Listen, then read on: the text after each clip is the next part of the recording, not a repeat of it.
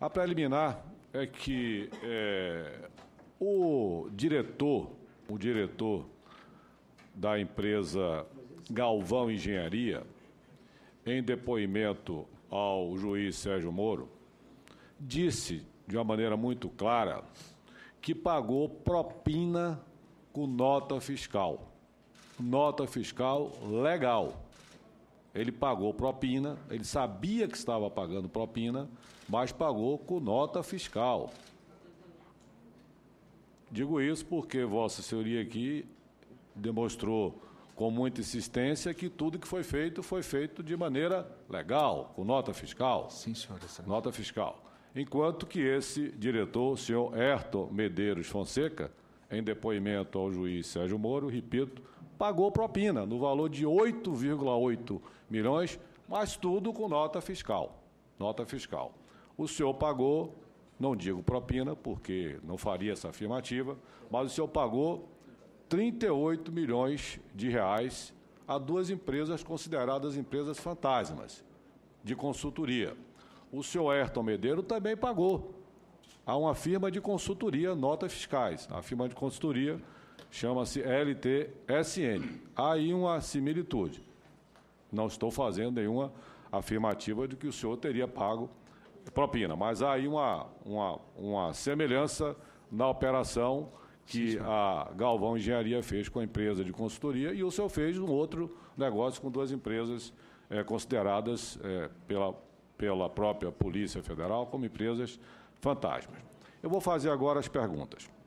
Gostaria que o senhor dissesse como se deu o primeiro negócio, primeiro negócio com o Youssef e quem participou dos entendimentos. Qual foi o primeiro negócio que o senhor fez com o Youssef e como é que se deu, quem participou desses entendimentos? Se eu não me engano, o primeiro negócio foi com a própria Camargo Correia. Foi com o CNCC que se iniciaram as vendas. Não sei Excelência, foram alguns negócios. Às vezes eu posso dar uma informação, são tantos negócios aqui que eu posso. Mas o primeiro talvez o primeiro o eu acho uma, que é, eu, eu, tenho eu tenho 80% de certeza de que foi com a Camargo Correia. Em seguida, ele me apresentou aos outros empreiteiros, não que eu não os conhecesse.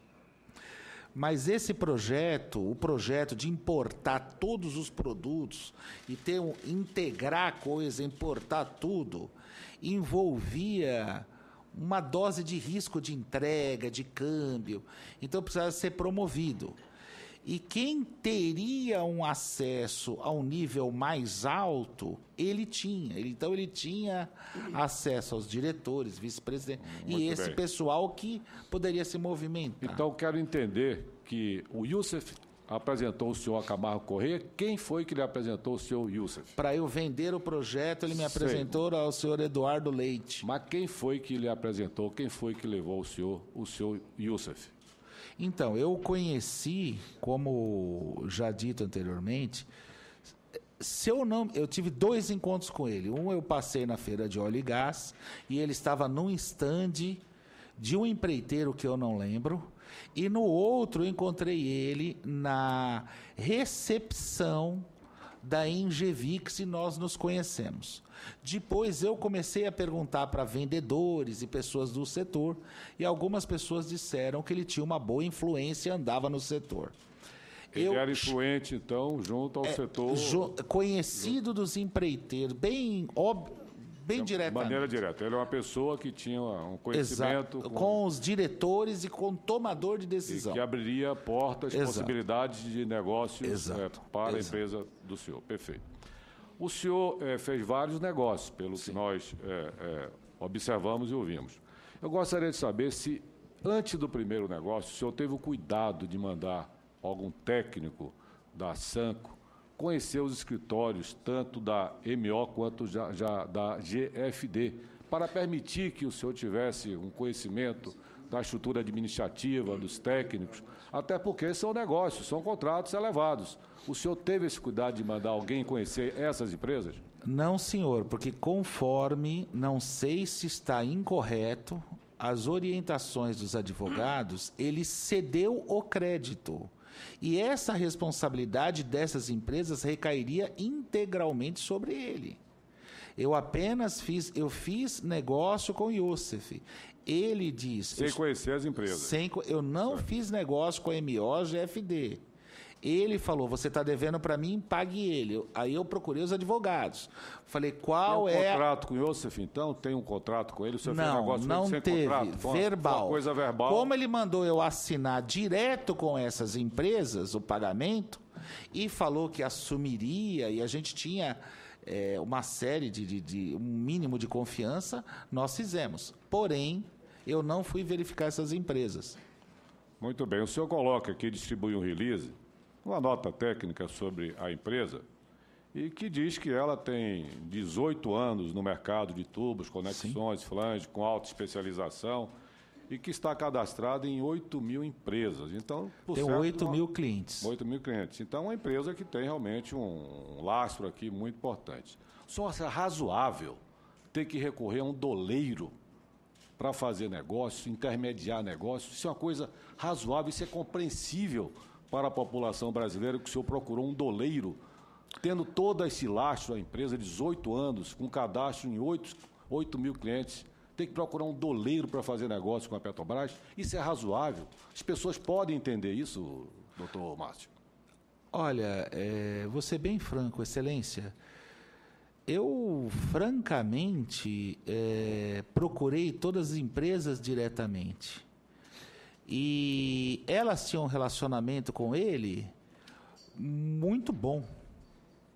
O, eu acho hoje, hoje, com a gente olhar a história a uma certa distância, fica muito óbvio, fica muito tranquilo. Claro. Naquele momento, quando você vê ele fazendo negócio, as pessoas que ele frequentava, os meios que ele andava, você não tinha uma visão negativa da pessoa dele.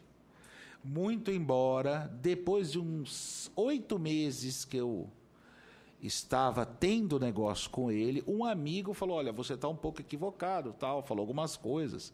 E eu verifiquei. Todas as vezes, eu quero dizer uma coisa, Excelência. Se eu for julgado pelos meus atos, e se eu for julgado por tudo que eu fiz, eu fiz, eu não fiz nada.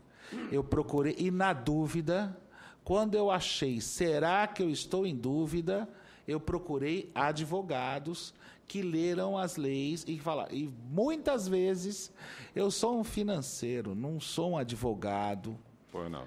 Muitas pessoas, a gente queria vender um projeto, nosso preço era mais barato, isso é incrível. É incrível como é, eu tenho que me justificar vendendo mais barato. Meus preços são inferiores. Se nós adicionarmos o preço do meu serviço no preço dos meus produtos, ainda está mais barato. É, é, é uma coisa assim. Entendi. E eu não consigo vender mais barato. E ele conseguiu. Meus representantes têm vendas pequenas. Ele tirou o maior pedido em 18 anos. Eu vou. Ele foi um vendedor. Nesse momento, eu diria o seguinte: eu não imaginava a mínima possibilidade dele, porque não havia ingerência sobre construtoras ele, ele, ele vendeu diretamente para a construtora. E, e as, os negócios se deram com os executivos das empresas privadas.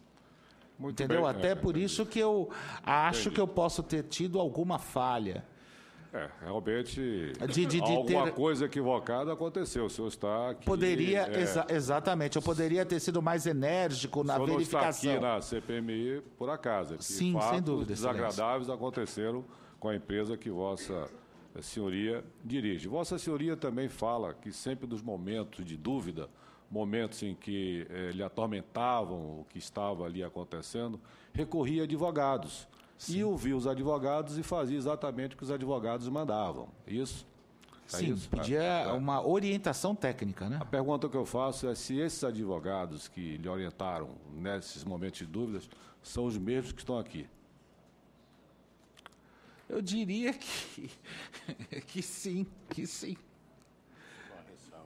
Que o Durso, o Durso foi chamado agora para reforçar os meus advogados. Certo, mas não foi certamente os que estão aqui que lhe orientaram para permanecer fazendo negócios com o doleiro, com passado absolutamente suspeito, com envolvimento em operações é, criminosas. Não foram eles que estão aqui que mandaram o senhor prosseguir nessas operações. É essa pergunta que eu insisto. Foram ou não foram? É, não, não, senhor. Não foram, pois não. Ok. Estou é, chegando aqui à conclusão, senhor presidente. Eu gostaria que o senhor discorresse um pouco, doutor Bonilho, com relação às empresas que a Sanco utilizou para intermediar negócios com a Petrobras, além da questão da MO e da JFD, as empresas ligadas à Youssef. Quais foram as outras empresas que o senhor utilizou para fazer negócios, intermediar negócios com a Petrobras? Eu insisto em dizer que uma empresa que tem esse histórico, que tem a Sanco, não seria razoável colocar uma pessoa suspeita na operação. Então, quero saber se teriam outras empresas que intermediaram negócios com a Petrobras. É... Re, re... Excelência, eu gostaria de, de, voltar. As operações que a minha empresa tem diretamente com a Petrobras, ninguém participa. É, existiram, o Alberto Iosef intermediou com construtoras, empresas privadas. Por isso, até, talvez, de eu ter até aceitado um passado meio tenebroso. Eu não vendi o Iosef, não estava autorizado por mim para fazer nenhum negócio com nenhuma empresa pública. E ele vendeu para Camargo Correia, para OAS, para UTC, o Iosef. Ele, ele, eu tinha créditos dele na minha empresa e pela. Volto a afirmar, ele cedeu esses créditos, falou: não tenho nota. falei: vou trazer as notas. Quando. Quando alguns casos citam notas frias, é, tecnicamente, eu entreguei para a contabilidade antes e falei cheque se, o, se essa nota fiscal tem o CNPJ ativo, se essa conta corrente é isso. E avisei o Iosef. Eu diria até que essas notas que devem ter gerado tudo isso aqui, porque eu falei, eu vou informar as autoridades. Eu estou certo, eu não tô, eu não estou. Eu tive uma conversa muito franca com ele. Falei, Iosef, se você entrou aqui na minha companhia e fizer alguma coisa ilegal, vai sair no espaço. Porque eu vou registrar tudo, eu vou contabilizar tudo e eu vou pôr em banco e eu vou fazer tudo.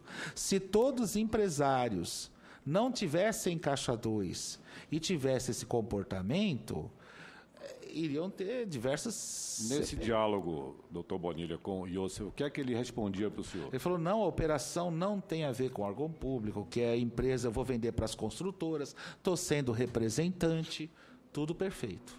Certo. Brigou é. muito pela comissão havia uma diferença. Ele descobriu os preços lá fora que eu pagava, descobriu o preço aqui dentro, quis dividir, quis mais dinheiro, mas nós íamos ser integradores, dar uma subida de padrão. Foi por isso que a gente muito bem. Como o senhor voltou a essa questão das notas fiscais, e eu retorno também à declaração do doutor Ayrton Medeiros Fonseca, que dizia que pagou propina com nota fiscal, porque foi vítima de extorsão.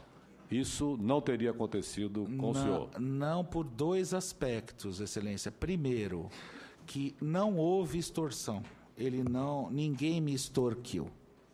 Segundo fator, é, não houve propina porque não havia agente público naquele momento.